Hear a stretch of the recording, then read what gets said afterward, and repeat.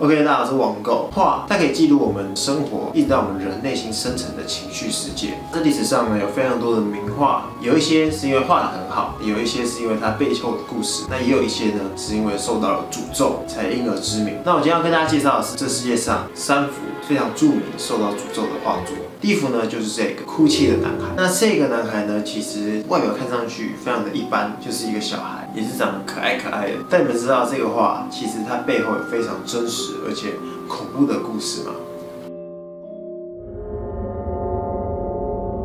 在一九八五年的英格兰爆发了一场奇怪的火灾，整个房屋都被烧毁，却只有这幅画。被完好如初的在大火中保存。更离奇的是，之后陆续有相关五十场类似的火灾，都发现了现场有着这样子的一幅画。你们可以看到这个一九八五年英国《太阳报》的报道，这个报道呢就是在描述我刚刚所说的这一幅画的故事。那其实这一幅画呢，它一共有六十五个系列，全部都是同一个小男孩。重点是这六十五幅，有人把它制作成影印版，超过五万份，在英国的各个家庭流传。所以啊，这些火灾的事情爆发后，就引起了很多民众的反弹。开始有人发起烧毁哭泣男孩画作的这个活动，避免自己的家庭发生类似的奇怪火灾。讲到这里，大家应该很好奇，到底是什么样的魔力，什么样的诅咒，才会让这五万幅画产生了这些好像走到哪哪里就会失火的状况吧？其实这些名画作中的男孩。他的名字叫做 Dumbelino，他是一名孤儿，他的家庭被一场大火烧毁。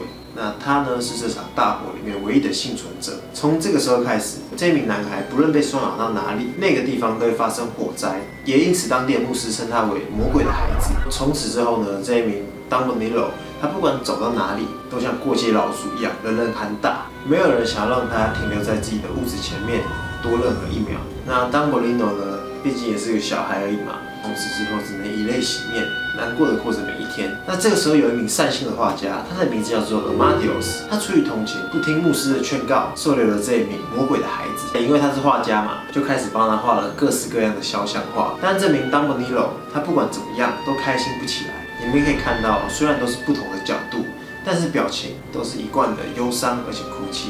那这名 Amadios 跟 d u m b n i l o 恶魔的孩子，他们两个相处的时间并不长。因为在某一次 Amadios 回家的时候，家里发生了大火，所有的东西都被烧毁，包含他的工作室。那 Amadios 才想起牧师的警告，立刻把这名恶魔的男孩给赶出了家门。之后呢，这名男孩他就从此就消失在这个城市里，没有人知道他的下落了。直到一九七六年，巴塞隆纳的郊外有发生一场大火，警方到达现场，发现汽车贴在墙上，整个都被烧得非常的焦黑，那尸体的死伤也非常的惨不忍睹。警方就开始检查里面的物品，结果离奇的发现，里面的手提箱竟然有一张身份证，而身份证上面的名字正是那名恶魔的男孩 d u m b l e d o r e 对，没错。我说到这里，大家可能想说，哎，听起来就像是一个很久远以前的故事。带你们看一下这一个，其实，在二零一六年，也就是三年前而已，西雅图市的一场太平洋拍卖会上，仍然有当时。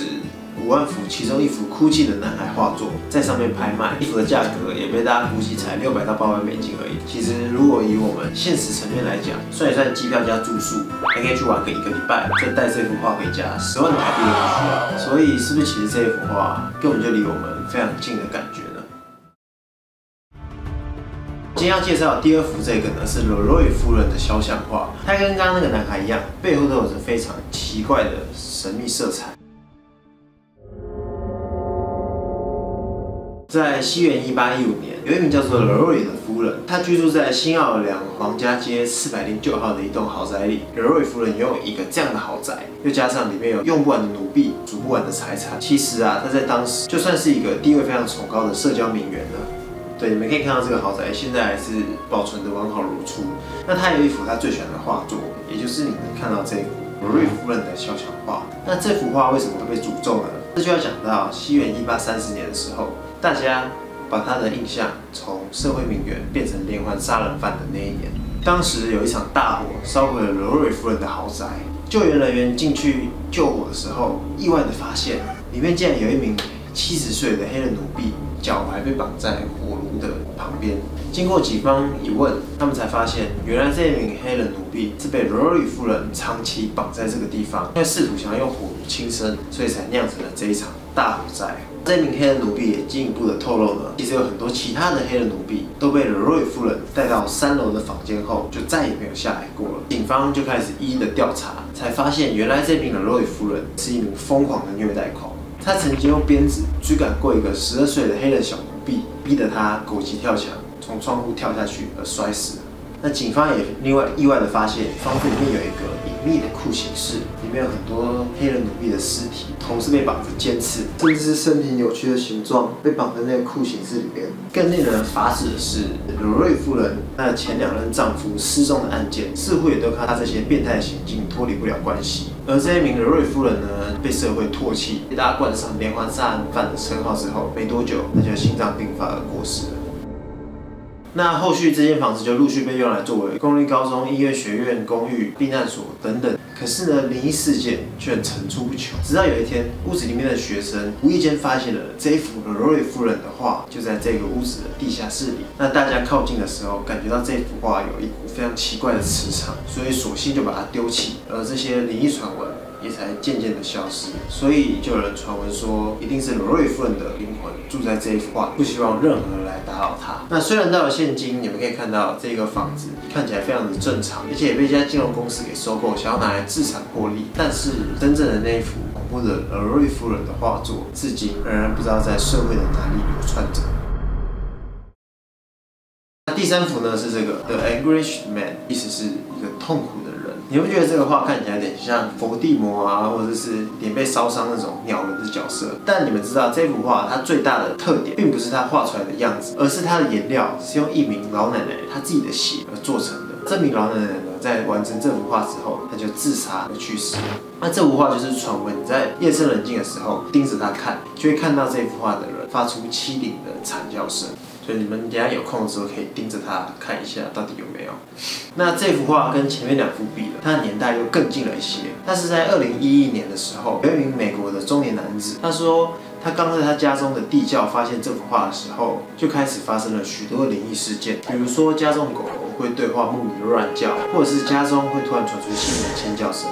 或者他在睡觉睡一睡的时候，会突然看到角落有一名高大的中年男子的黑影等等的一些灵异现象。所以呢，他为了验证与观察，他就把摄影机架在这个画的旁边，想要观察看看会不会发生什么事，停下我会干的事。那我就在这里给你们播放，这是他当时录下来的画面。I'm gonna record it for approximately eight hours, see if we can catch some of the activity. As you can see, some of the paint is starting to crack. It's still on its original wooden frame.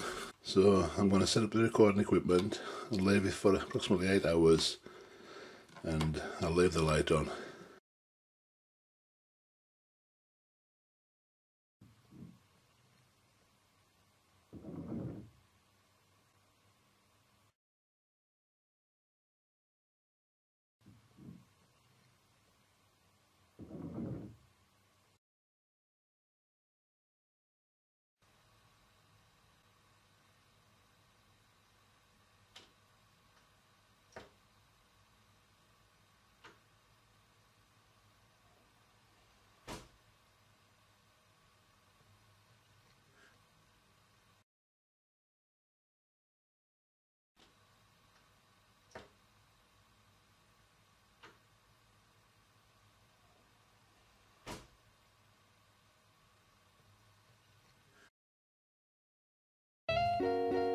对大家是，我们后续感人的时间啦。你们可以看到刚刚那个画的门突然被关闭，甚至是房间内发出奇怪的声音，真不真实我们其实看不出来。但是那名屋主呢，他说自从他录到这些画面之后，他快要吓死，他就把这个画尘封在地窖里，就再也没有发生过其他灵异事件。更酷的是，这幅画因为他的这个影片呢，开始有人出价购买。甚至是出到一万美金的大有人在，世界真的是无奇不有啊！但是说到这，我还是要跟大家说，我们可以抱着观察的心态去看这些事情，但是不要过度的迷信。像比如说第一幅古简拿来画作，它其实也有一些合理的解释。有人说它永远不会被烧毁，是因为画是用特殊的材质去做的。而那个英国的《太阳报》，它是为了提升知名度才做出假报道等等的说法。那我觉得相信也好，不相信也好，我们对于任何的事情都要保持这种客观的态度，因为有的时候。人家搞不好背后是有目的的，又或者是人家其实是无意的，你却主观的误会了他。而同时，我们探索这些事情的时候，我们自己也要非常小心，毕竟有的是我们是无法拿捏的，对吧？OK，那我今天影片就到这。如果喜欢我的频道的话，可以帮我点点分享，喜欢，谢谢大家收看，我们下次见，拜。